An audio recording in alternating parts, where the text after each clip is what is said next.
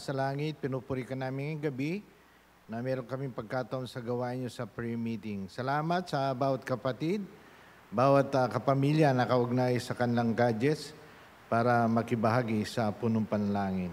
Inadakila ka namin sa iyong biyaya, katatapatan, provision, protection, na kayo patuloy nag-ingat sa bawat pamilya ng First Baptist sa Manila. Kaya patuloy kami tulungan, gabayan sa gawain niyo ngayong gabi, Panginoon, sa tulong gabay na yung banal na Espiritu, sa pag na yung banal na salita. Dalangin namin to dulog na ipasa pagpupuri sa pangalan ng Jesus sa kapangyarihan ng banal na Espiritu. Amen. Magandang gabi po. Nasa prayer meeting tayo muli at uh, July 17 na. Bilis po ng panahon, no? Kalagitnaan na po ng month. Ang ating pong pinag-aaral na topic ay na team, yung My Family for God's Glory. Ang topic natin po ngayon ay Disciplining My Child. Kasi pa nga yung ating team ay My Family for God's Glory. Yan. Punta po tayo sa ating teksto o talata sa unang Samuel 3, labing isa hanggang labing tatlo. At sinabi ng Panginoon kay Samuel, narito gagawa ko ng isang bagay sa Israel ng dalawang tinga ng bawat isa na nakakaniig ay mapapanting. Sa araw na iyon ay aking tutuparin kay Eli ang lahat ng aking sinalita tungkol sa kanyang sambayan mula sa pasimula hanggang sa wakas. Sapagkat aking sinaysay sa kanya na aking hukuman ang kanyang sangbayan magpakailanman. Dahil sa kasamaan ng kanyang na kanyang nalalaman sapagkat ang kanyang mga anak ay nagdala ng sumpa sa kanilang sarili at hindi niya sinalangsa sila. Yan po ang ating teksto sa buhay po ni Eli, ang pari po ng Israel ng panahon sa Rama. So ating pong pag-aralan ang pagdisiplina sa ating anak. No? O, uh, marami kami po mga lolo para ba lumampas na dyan eh. Pero pwede kami magturo at maggabay sa aming anak at sa kanilang pamilya. At lalo sa mga kapatid na nagtatanong, paano bang pagdidisiplina sa anak? Una, discipline, discipline should begin early. Kaya lang kasi magiging paraan kasi ng mga matatanda, magulang, ay, huwag mo na siyang paluin, ay, huwag mo na siyang kukunin, bawata pa yan. Oh. Yan, lalo na, pag nakatira ka sa lolo, kukunin ng lolo yan ayaw niyang pagalitan o suwayin yung kanyang apo. Pero dapat ay malaman ng bawat isa yung tama. The question is when discipline should begin. Yan tinatanong kasi kailan dapat magsimula. Yan ang subject ng debate o pagtatalo. Pero ang Biblia o ang Scripture ay tunay na klaro ang kanyang sinasabi na dapat ito magpasimula sa maagang buhay ng mga bata pag dumating na yung age of accountability o yung pagkaunawa, may pangunawa na yung bata. Siyempre, mostly yan, 3 years old. Kasi yung anak namin, si Ruth noon, 3 years old, eh nag-aral na sa daycare. Yan po ang ating makita. Discipline should begin early. Uh, sabi rito sa Proverbs 3.24, 13.24, while it is dawn, no? He who loves his son, discipline him diligently. The word diligently po has interesting background in its noun form. The word means at dawn or early. Yan po ang noun uh, meaning po ng diligent, no? Dawn, maaga, early. Therefore, the word takes the idea of earnestness or diligent. As often anything done at the crack of dawn is done with earnestness and diligence. So kailangan po yan ay ating mapansin. Tayo po mga Kristiyano, pare-pareho po ang ating pananaw pagdating po sa ating mga anak, mahal sa buhay at mga bahagi ng pamilya. Okay, punta tayo sa pangalawa, letter B, while there is hope, habang may pag-asa pa. Disciplining your son when there is hope and do not desire his death. Yan ang Proverbs, Kawikan, labing siyam, versikulo labing walo. Then Proverbs 22 verse 15, foolishness is bound in the heart of a child. The rod of discipline will remove it far from him. Kasi ang ating titingnan, ang tinuturo ng scripture sa atin, ang bawat bata na pinanganak, meron siyang tinatawag na godly bend, no? O godly character. Kasi nilalang tayo sa wangis ng Diyos. Pero dahil nahulog si Adan at si Eva, yung una natin ninuno sa kasalanan, ay pumasok naman yung ungodly bend. Yan, wickedness. Kaya sabi nga yan, dyan sa Proverbs 22.15, foolishness is bound up in the heart of the child. Kahit yung bata, hindi mo turuan. Nandyan sa puso niya yan. Kaya sabi niya rito, the rod of discipline, be remove it from him. Yan. It is the parents' joint responsibility, ang nanay at tatay. Dapat nakakaunawaan, nagkakaintindi sila. To remove, para tanggalin yung foolishness, kamangmangan, sa child during the brief years while the child is under their care. Habang anak natin, nasa atin pa, nalagaan natin, bata pa siya, pinapaunawa na natin yung kanyang pagiging foolish at yung gusto ng Diyos na godly life. At tayo nagpapaintindi, tayong tumutulong sa kanilang buhay. Para pagdating ng panahon, na kung sila ay malaki na, alam na nila yung tuntunin at direksyon na kanilang tatahakin. Yan po sabi ng Proverbs 22.6, Train up a child in the way he should go. When he is old, he shall not depart from it. O, siyempre, ganun yan eh.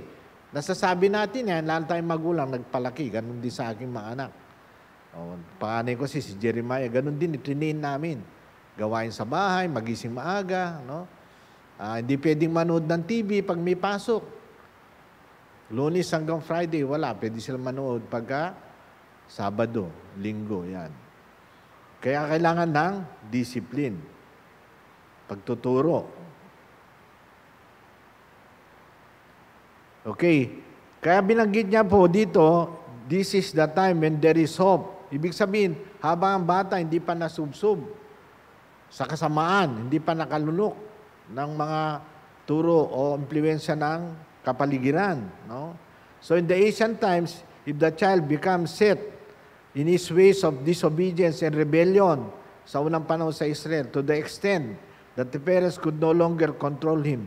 Noong unang panahon sa Israel, sa panahon nila, panahon ni Moses, pag yung bata lumaki na at uh, hindi makontrol, nagde-defy siya sa authority, sa magulang, eh kailangan siya dalhin na ng magulang sa elders ng town o ng bayan. No? Dadalhin siya doon. Oh, he was taken to be taken before the elders of the city and to be stoned. This is the meant of by desire his death. Oh, kago, itrain mo siya para huwag mo na nasayin yung kamatayan. Uh, marahil dito sa ating sa panahon na lipunan natin, kasi iba naman yung sitwasyon sa Israel, ay hindi nga kamatayan. Kaya lang, kahiyan ang dadalhin sa pamilya. Pag hindi na kontrol ng pamilya, saan pupunta yan? Barangay. After barangay, saan susunod pupunta? Bagsak. Munisipyo. O municipal hall. Municipal uh, jail.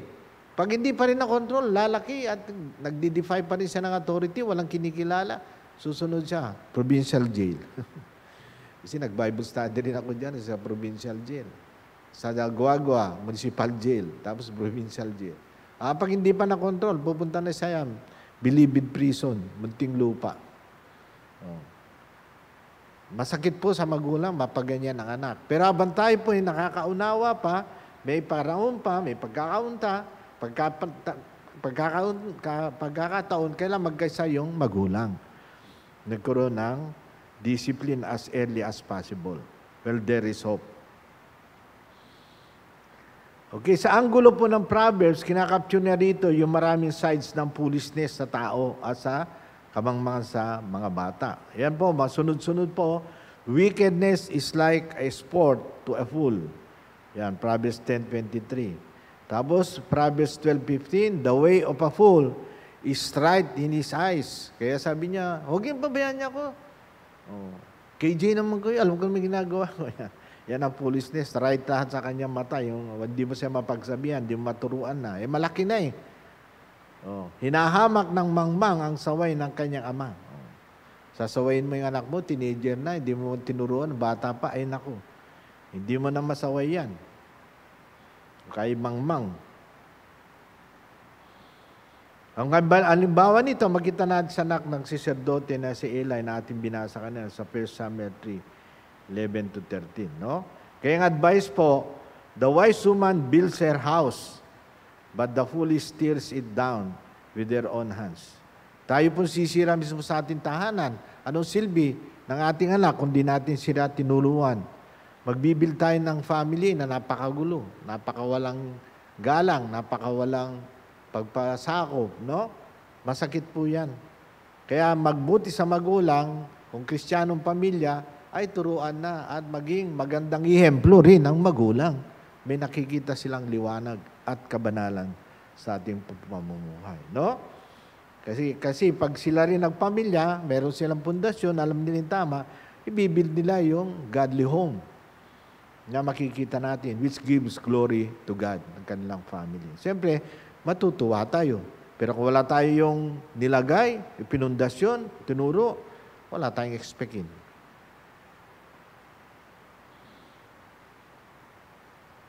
Di natin, punta tayo po sa pangalawa, guidelines for disciplining your child. Marami pong mananampalataya at pamilya, hindi nila alam yung kaparaanan at tuntunin. Kaya mahalaga po, meron tayong guidelines, meron tayong tuntunin. No? Ganun po yan eh. Kaya pag natuto tayo at alam natin, madaling gawin. Oh. Ganyan po yung ating pong uh, kahalagaan. No? Eh, ganun din po sa akin eh. Pag pumunta ko sa veterans, may guidelines eh. Una, kukuha ka ng number sa gwardiya. O pag dumating po ako ng 5.30 o 6, ang number ko, 200 plus na.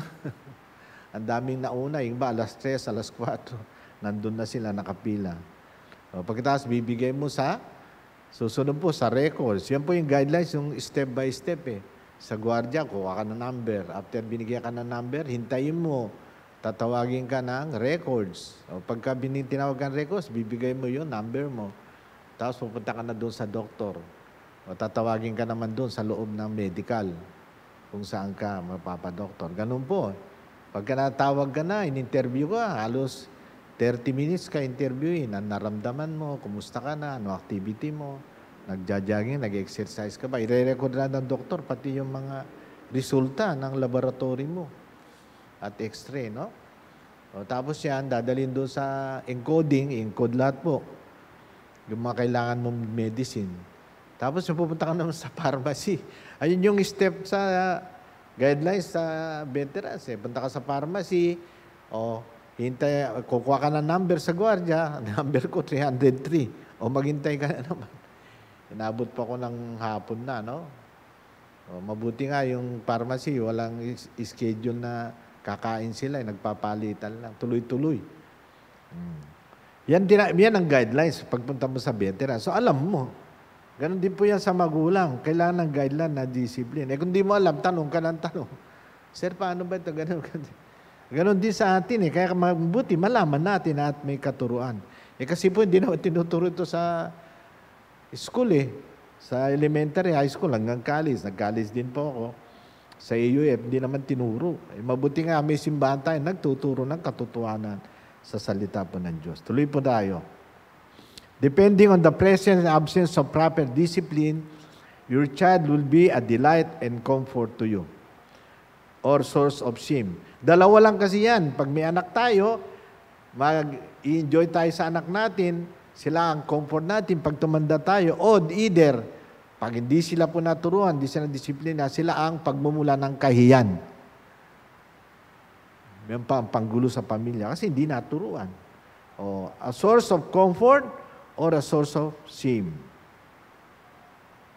Proverbs 29.15 Ang pamalo ay saway ay nagbibigay ng karunungan. O, tingnan niyo po.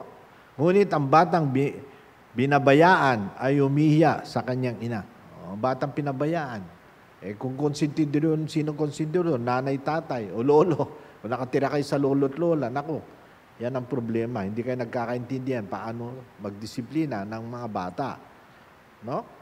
Kaya mahalaga po yan. Ang pamalo at saway nagbibigay ng karunungan. It gives wisdom. Proverbs 29:17. Sawayin mo ang iyong anak at bibigyan kanya ng kapahingaan. Yan, good. Oo, bibigyan ng kaluguran ang iyong kaluluwa. Kasi sinuway mo, tinuruan mo eh. Habang bata pa, paglaki na, marunong na. Masunurin, matulungin, mapagkubaba, nagpapalaga ng magulang, inoonor yung parents. Kasi naturuan. O, di relax ka, may maasahan ka, may katuwang ka. O, yan ang magandang magiging resulta, of course, kung naging mabubuti tayo at nagdisiplina ng magulang. Punta tayo po sa guidelines, establish po yung discipline sa ating pong home. Okay, napunta tayo sa letter A, number one. Define the boundaries before they are enforced. Yan. Ibigay natin po yung boundary ng ating pagdidisiplina. Ano ba? Oh, pwede yan, nag-warning ka muna. Oh, ang anak mo, nag-absensya, hindi pala pumasok. Oh, tapos tinawagan ka, nag-text yung teacher niya. Sabi niya, nako, Sir, si Modi hindi po pumasok. Ay, ganun ba? O, alam mo, pumasok yung anak mo, humingi ng baon. So, define natin. Anak, wawarningan kita. So, susunod, alam mo na yung mangyayari. So, ganun po yun eh. Lalo elementary pa lang. Oh. This gives the child a sense of clarity, klaro sa kanya, about the values in your home. Eh kung siya ay Bata pa, nakikipusuntukan, nakikibutangero na, eh, alam mo na yung enforce mo na boundary. So tayo mong magulang, alam natin yung paano natin ibigay yung pagdidisiplina. Kasi may mga magulang sabi, bata pa naman, bata pa. O ngayon pala, naku, nasanay na na, nananakit. O, nag-aabuso, binubuli mga klase sa school kasi hindi naturuan. O, kaya dapat Define the boundaries before they are enforced. Iba, alam niya. Hindi yung magugulat na lang siya. Alam niya. O anak, pag nag-absent ka, warning ha. O, second. Third. Hmm. Ganon din yan. Lalo palaki na siyang palaking anak mo. Eh, yung anak ko, naala ko si Jeremiah. Uh, wala naman kami bando na pag-usapan. Napuno pala, hindi niya sinusumbong yung klase niya. Kinukuha yung baon niya, kinukuha yung lapis niya, Tinanggal yung upuan sa, nag-recite siya, tinanggal yung upuan, bumagsak siya. Napuno siya, kinawa niya yung lapis niya, sinaksak niya yung paa ng klase. Kasigaw ng kaklase niya, bandang uli, pinatawag ako ng principal ng school doon sa uh, guidance. Anong grade si Grema? Grade 3 ata siya noon, no? Nasa paniki kami, paniki tarlak. So, nag-uusap kami ng parents ng bata. Eh ngayon pala, yung bata is spoiled. Anak pa ng teacher, nakakaya nga eh. Oh. Pagpasensya niyo na po yung anak namin, sabi ko. Ay, oh, pasensya po kayo. Ito kasi anak ko, tigas ng ulo. Alam pala, hindi, hindi. Sabi ni Jeremiah, nag-uusap, nag, pina-explain nung kwan eh, sa guidance. Ba't mo siya sinaksak, Jeremiah? Sinabi niya, lagi na po ako binubuli. Kinukuha yung papel ko, kinukuha yung baon ko, tinanggal pa yung puwan, bumagsak ako, napaya ako. Kaya napuno ako, sabi niya, sinaksak ko ng lapis yung paa niya. Kaya di-define natin. Of course, di ko naman tinururit. Uh, alam ni Jire, pag nanakit siya ng kanyang kaklase, ay meron siyang palo. No? Pag pa naman namamalo magulang, may paddle tayo nakasabit. Oh. Pag pinapalo natin, dapat ay alam niya Pagka ganun kasi, ang palo niyan, limang palo, malakas, no? Hmm. Kaya bumabakat sa pit. Alam nila yung discipline na i-enforce. Kaya yan po, no? Define the boundaries before they enforce. Hindi sabihin ng anak mo na, wala naman po tayo na pag-usapan eh. Oh. Hindi ko naman po alam eh. Para yan sa cake eh. Na naglagay ng cake yung Tita nila, magkakapit bahay kayo. Eh, kinain ng anak mo, eh, wala ka naman sinabi. Na mga anak, oh, James, Jeremiah, Ruth, huwag yung kainin yung cake, ha? Hindi sa atin yan. Pinakilagay lang ni Tita Early. Oh, then, dinefine mo. Pag kinain nyo yan, oh, alam niyo na mangyayari. O, oh, yan po. Define the boundaries before they are enforced. Okay, punta tayo doon sa enforce the boundaries when they are violated. Yan naman nagbibigay ng sense of consistency. Pagka hindi niya sinunod, hindi na pag-usapan, ay kailangan talaga enforce mo yung boundary, enforce mo yung law na binayolate niya. Ito nagpapakita ng sense of consistency. Huwag yung, ay, pabayaan mo na yung anak mo. 100 naman siya sa school. Ay, hindi. We self-establish those values permanently. Yung values. No? Oh. Kailangan po yan, enforce yung boundary pag na-violate yung rules nyo. Limbawa, yung pag-uwi, anong oras dapat umuwi ang bata? Umuwi siya sa school, lumalabas alas 5. Dapat alas 6, nasa bahay na. Hmm. Pagka una, binarning mo, pag susunod, hindi siya sumunod. Gumab- umuwi siya alas 7 na, alas 8. Eh, anong ngayon, okay lang yan. Ay, nako, hindi pwede yan. Kailangan ay enforce yung punishment o yung boundaries na hindi niya tinupad. Yung usapan, ang oras labas sa school, alas 5. Tapos darating isa sa bahay nyo, alas 7. Yan, lapit-lapit ng school. Oh. Kaya ganyan eh. Pag elementary naman, malapit lang eh. Siguro pinakamalayo na yan. 30 minutes na travel, no? Hmm. Para maging sense of consistency. Yung kanina, sense of clarity. Tatandaan po natin yan. Yun, no?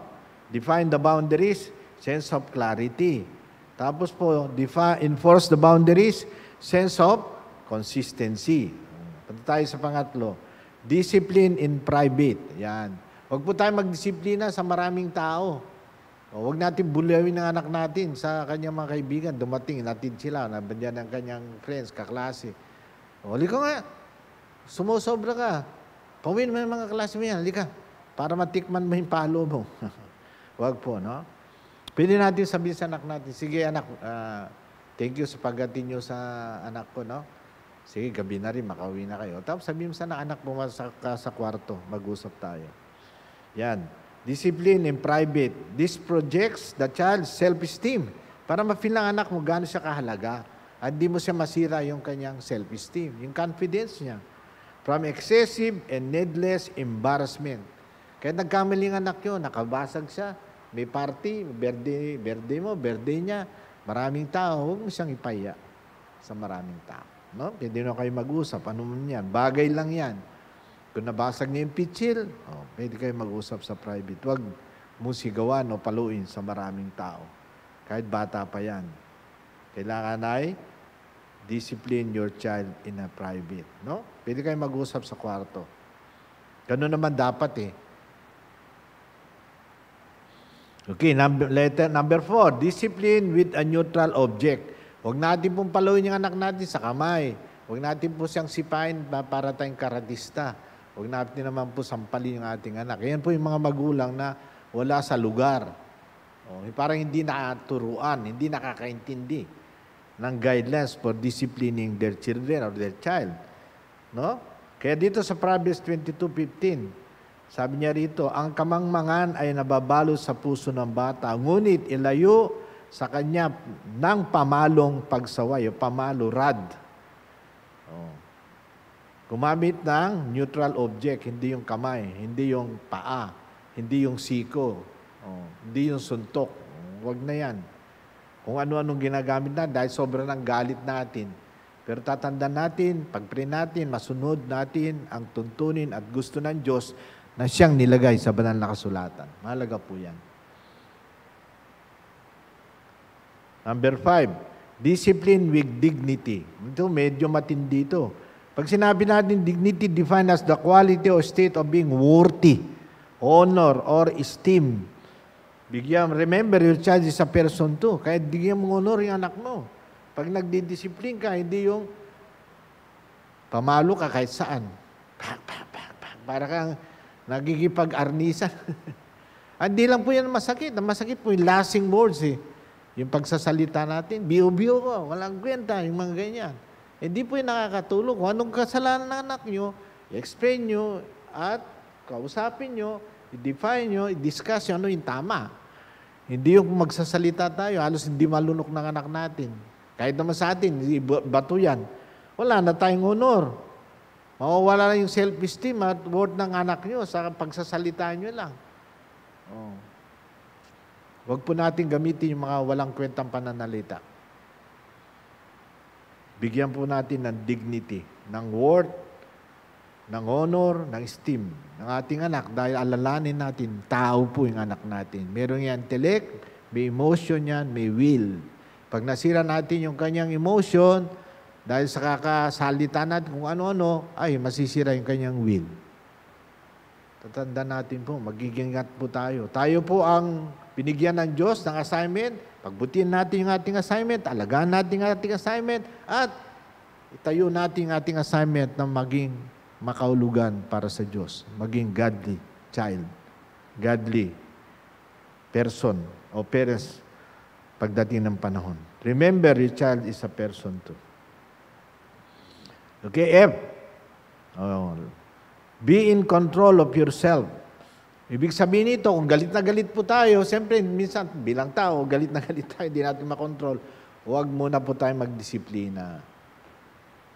Kung nag-aaway po yung anak natin, pareho sila, ingatan natin, kontrolin natin. Huwag muna natin sila na kung ano nung gawin natin sa harapan.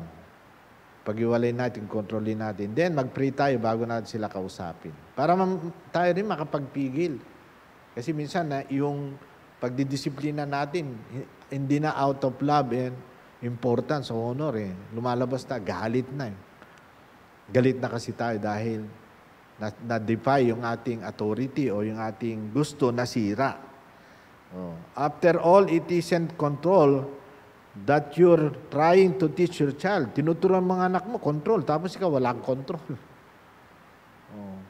Lahat ng itong pagdisiplina, pagtuturo mo yan para makontrol yung kanyang old nature, eh, yung adamic nature niya. Oh. Paano? Pati ikaw rin, wala rin control. Anong silbi? ng ating pagpapagal o pagpapagod kung hindi tayo pa mag-control, mawawala ring sense. Apostle Paul said sa kanya, oh, sabi niya po sa 1 Corinthians 9.27, But I discipline my body and bring it into subjection, lest when I preach to others, I myself should become disqualified. Kung hindi po tayo mag-control, lahat ng sinasabi natin sa ating mga anak o sa ating anak, na ating tinuturuan, pag di tayo nag-control, ay nako, walang saysay yan. Ayan, sabi nga ni Paul, oh, I become a disqualified or castaway when I preach what I have teach. O, wala rin. Kasi nga po, wala tayo pong self-control. Wala tayong pagkocontrol sa ating sarili. Bantayan po natin yan, tayo pong magulang. Kasi minsan na-emphasize, magulang ako. Oh, tama, magulang ka. Pero ilagay mo sa control yung sarili mo. Huwag mong i-overcome yung authority mo para gawin mo yung gusto mo kahit mali. Hindi po dapat yan. Huwag po natin ilagay yung mundong kaisipan sa ating pagiging magulang. Hindi po nakakatulong. Ito na po yung last. Reassure love and delight to your child after the confrontation is over. Pagkatapos mo kinausap ang anak mo o napalo siya dahil sumobra yung kanyang paglabag sa mga napagkasunduan, napag-usapan, hindi na pala siya pumapasok yung anak mo, tatlong araw na, o kailangan mo siyang ipakita, anak, mahal kita. Kaya ginagawa ko ito para mapabuti ka. Kung di kita didisiplinahin, eh, darating ang panahon, walang pupuna direksyon yung buhay mo. Pagdating ng panahon, hindi ka rin magiging magandang ehemplo sa mga anak mo. No? At sasabihin mo, ikaw ay mahalaga. Na-enjoy kita Oh. Yan ang love and delight. Ang salita kasi delight, yan ang take pleasure. May pleasure ka. Child after the confrontation. Here is the demonstration of love and delight is most important. Sa lahat ng ginawa mo, pagtuturo, pagdidisiplina, pagkokontrol mo, napakalaga to emphasize to your child your love and delight as given by God from God. Galing ka sa Panginoon anak. Mahal kita. Ikaw ang binigay sa amin ng nanay mo, sa aming pagmamahalan. Ikaw ang bunga. At gusto kong mapabuti ka. Mahal ka namin. Okay? At kayo, nadidelight kami, no? May pleasure kami sa presence mo sa ating family. Punta po tayo sa conclusion and application. God has twofold to discipline. Dalawang paraan pagdisiplin, the rod and reproof. Biblical discipline is the combination of these two concepts. These are some following verses teach us about God design for discipline. Half of them deal with the rod, and other half deal with reproof. Dito po tayo sa rod. Proverbs 10.13 In the lips of him that had understanding wisdom is found, but the rod is for the back of him that is void of understanding. O yan, pag hindi na sumusunod, ayaw na maniwala, kailangan ng rod. Proverbs 13.24, He that spirit his rod hated his son, but he that loveth him chastened him bedtimes. Number three, Proverbs 14.3, In the mouth of the foolish is a rod of pride, but the lips of the wise shall preserve him. Number four, Proverbs 22.8, He that soweth iniquity shall reap vanity, and the wrath of his anger shall fail. Proverbs 20.15, Foolishness is bound in the heart of a child, but the rod of correction shall drive it far from him. Yan po yung sa una, no?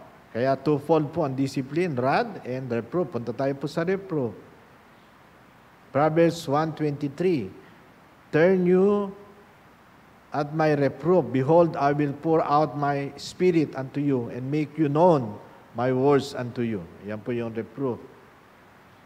Proverbs 1.25, but you, but you have a set of note all my counsel and would none of my reproof.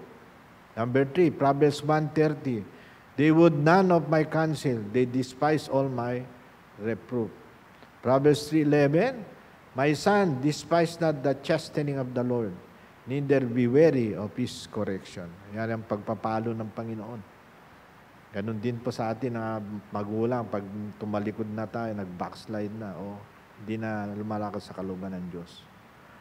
Proverbs 5.12, and say, How have I hated instruction, and my heart despised reproof. So lahat po yan ay kombinasyon po ng rod and reproof. For whom the Lord loveth, He reproves, even as the Father the Son in whom He delights. Kaya po yung sabi ng Panginoon, the Son in whom He delights. Love and delights, no? Reproving is instructing, guiding and verbally assenting the discipline, dis, discipleship aspect of our parenting. Much of reproof is spontaneous as the need arises.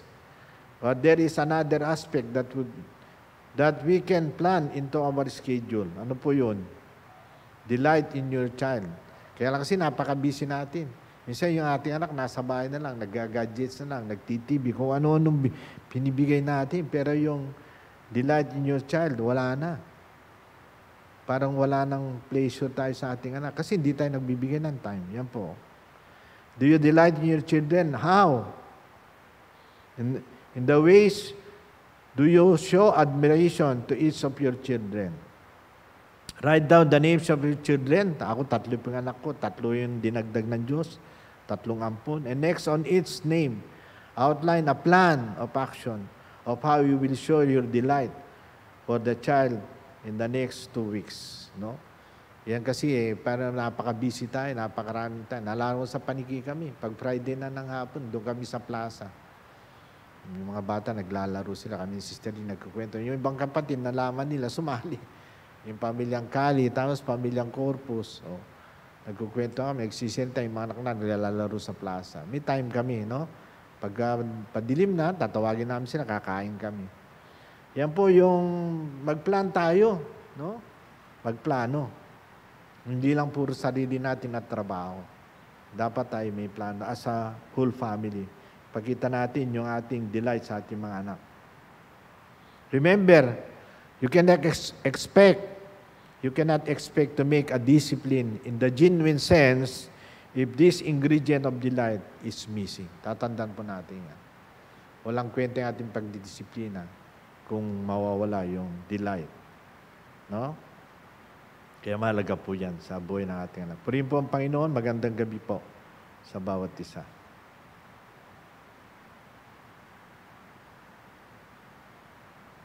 Dadako po tayo sa ating pong pananalangin para sa ating iglesia, sa mga gawain sa linggo, at ganoon din po sa gawain sa pamilya Aranay, sa pagtanaw po ni ng kanilang ama ni Sister Mina, si uh, Mr. Ortega. No? Ganun din pag-pray natin activity ng church at mga gawain sa weekend, mga home Bible study, outreach, Bible school, at mga uh, mission at missionaries.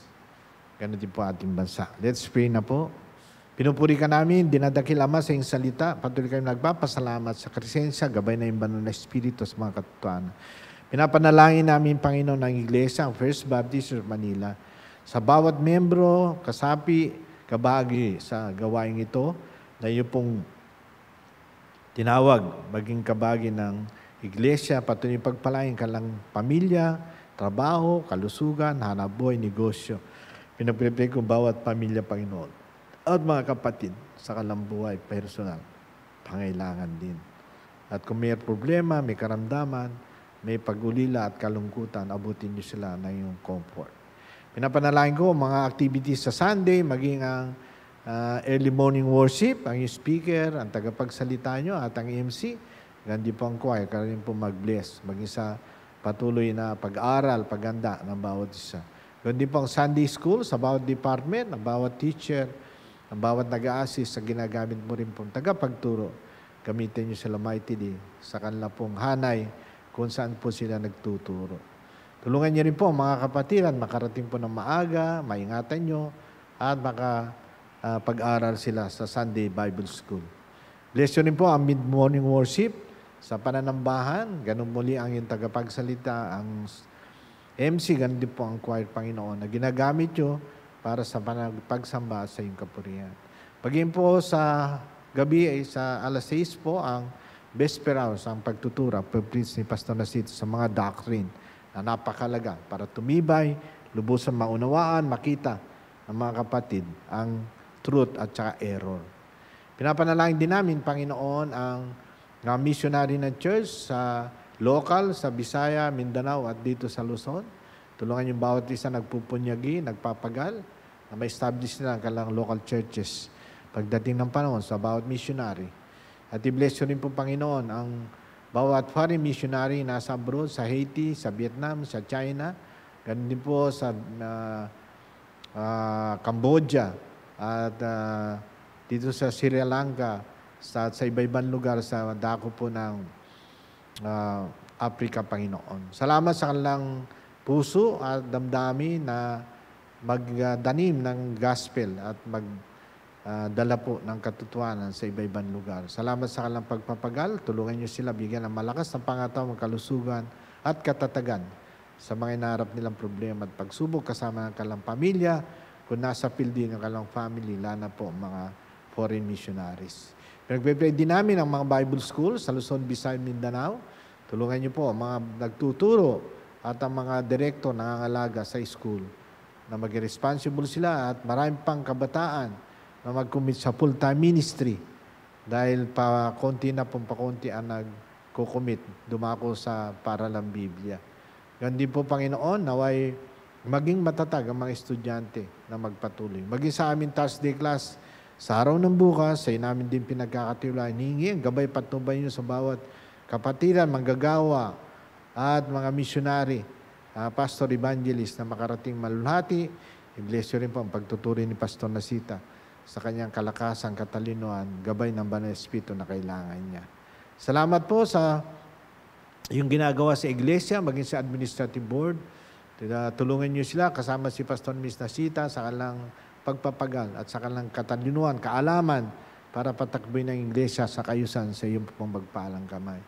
Pinagpipray namin ang mga uh, bawat auxiliary group, ang young people, ang Dorcas, ang Giyos, ang senior citizen na magpatuloy, Panginoon, sa kanilang pagtitipon, pagpapalakasan. Gamitin niyo po ang bawat isa, ang kanilang mga kapatiran, sino man na namumuno o presidente, ay magamit niyo po sa kanilang leadership. Kaya salamat dahil uh, kayo po ang nagmumold para sa group, para sila po ilalong tumatag, tumibay, at makita ang kala responsible part sa ministry po ng Iglesia ng First Baptist of Manila. Pinapanalangin din namin, Panginoon Diyos, ang mga senior citizen namin na may karamdaman na, na may lingering disease na tunay, masakit, mahirap. Tulungan yung bawat pamilya, ang kanilang pangailangan, kayo magpuno, ang kaaliwan at steadfastness nila sa pag-alaga sa kanilang mga malusog buhay. Pinagpipray namin ang divine intervention nyo, grace and mercy nyo, abot po sa bawat family. Salamat po sa mga Bible study na kayo rin nagsusubaybay. Tulungan niyo po kami sa paghayo, pagdako, maging sa uh, pagtuturo sa gadget, sa uh, live stream, sa pagtuturo din ni Pastor Nat sa kanyang mga Bible studies sa Middle East America. Ganun kay Pastor Boy, at Sister Sally sa paghayo rin nila at pagtuturo. Ganun din kami na Pastor Jess, Pastor Bong sa pagpunta sa San Mateo, at uh, pagtuturo din dito sa Kanlobo, Panginoon. Salamat din po sa gawain nyo. Sa punta si na Sister Rebby, Sister Mina, Sister Rodela, at Glo, sa gawain niyo rin po ang outreach nyo dyan po sa UP Bliss tuwing Saturday ng hapon. Pinupuri ka namin dahil ito'y binuksan mo na opportunity, open doors mo, naway patuloy namin maalagaan ang mga pamilya, ang mga tumanggap na nampalatay sa Panginoon ay ma-share namin patuloy na yung banal na salita. Pinag-pray namin ang divine power niyo to work in the hearts of every believer that accepted and believed in the Lord Jesus Christ as the Lord and Savior.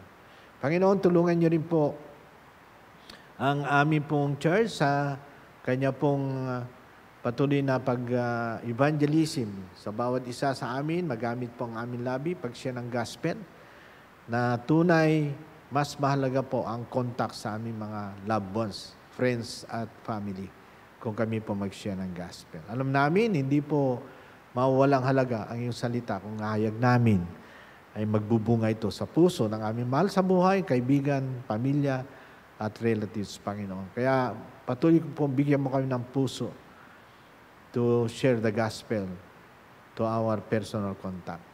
I-bless rin po, Panginoon, ang aming bansa. Patuloy namin pinagpipray po. Aming Pangulo, si President Ferdinand Bongbong Marcos Jr., sa kanyang health, strength, sa kanyang family, at ganun din po sampu ng kanyang kabinete. Dalangin namin ang mapayapa at kaayusan ng aming pong karelasyon sa aming kapaligiran ng mga bansa, lalo sa China, sa naging problema namin sa West Philippine Sea. Naway mabigyan to ng solusyon sa mapayapang paraan. Tulungan niyo rin po ang aming ekonomiya na siya naman po nagiging malaking epekto dahil sa inflation, magtaas lahat ang bilihin. Naway lalo pong magpunyagi at magsipag sa kakayan ng aming pong DA Secretary si uh, Laurel Panginoon. Salamat sa kanyang pagpapagab. Tulungan niyo siya na marami pa po siyang makatwang sa food production sa aming bansa at sa lahat ng kanyang inaayos. Ganito po ang Department of DILG, ang Peace and Order sa kapaligiran ng aming bansa. Mapanatili, makontra po ang drugs, ang child abuse at ang maraming problema sa kapaligiran ng aming lipunan ay maging katpang nila ang LGU at ang mga kapulisan namin, Panginoon. Maging po ang Department of Justice at ang mga MBI na dapat po silang kumilos na mag-grab po ang maraming problema, ang child trafficking, child abuse at kung ano na pang naging problema namin sa aming lipunan. Tulungan niyo po ang Department of Health sa maraming sakit na lumalabas, maging ang tuberculosis, ang dengue, ang uh, iba-iba pang sakit na lumilitaw naway uh, mabigyan po ng solusyon at mabigyan po ng tugon, lalo na sa mga lugar na nagbabaha, ay kailangan po tulong ng aming pong na Department of Social Service sa bandang Mindanao. Marami po kaming kababayan na naapekto ng baha, na-display sila, na kailangan na ng tulong ng tubig at pagkain. Dalangin ko rin, Panginoon, ang Department of National Defense. Salamat sa patuloy na pagsuporta ng aming Pangulo sa aming uh, Department of Defense sa linya po ng Philippine Navy, Philippine Army, Philippine Air Force na kailangan nila ang suporta po ng mamayan at suporta ng aming Pangulo para madepensan po ang napakaraming isla na meron kami, halos 7,000 plus. Tulungan niyo rin po, Panginoon, ang aming bansa na patuloy kami ng abag niyo na makatuklas kami ng langis, kundi sa Mindanao, sa Bisaya, sa West Philippines, dito po sa Luzon, para hindi kami po nag import ng langis na alos linggo-linggo tumataas po at tumataas din ang bilhin, apektado tunay kami, Panginoon. We continue to ask Thy mercy to help us in this uh, situation of our country, Father God. Kinukumit din namin at pinapanalangin ang aming pong uh, bansa sa kanya pong karelasyon sa mga bansa na kaanin po sa NATO, kaanin po sa ASEAN, at kaanin po sa United Nations. Naway uh, maging maayos, mabungahin ang pagkipagrelasyon namin para ang bansa ay maging ah, maunlad at matulungin din po ang mga bansang tumutulong katulad ng Korea at ang Japan, Panginoon. Pinupuri ka namin ngayong gabi, Panginoon, dahil kayo pong amin nalapitan sa iyong salita, sa mga karaingan namin at panalangin at pasasalamat sa aming na iglesia sa First Baptist sa Manila at sa aming bansa na tunay kayo lang po amin tinitingala dahil kung wala kayo, wala po kami. Salamat may Diyos na nagturo sa amin. Nagsabi kami manalangin at ah, tutugong kayo ayon sa iyong kapangyarihan di pa namin nakita. Kaya salamat Panginoon sa iyong presence today that we can pray to you this night because of thy truth and thy mercy and loving kindness. All this we pray with praise and thanksgiving in Jesus' mighty name, our Lord and God, in the power and guidance of the Holy Spirit. Amen.